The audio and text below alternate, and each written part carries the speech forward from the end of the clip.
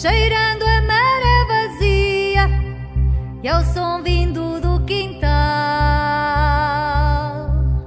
Sou de uma ilha onde o mar vê-se da serra e onde um canário da terra faz cantigas num beirão.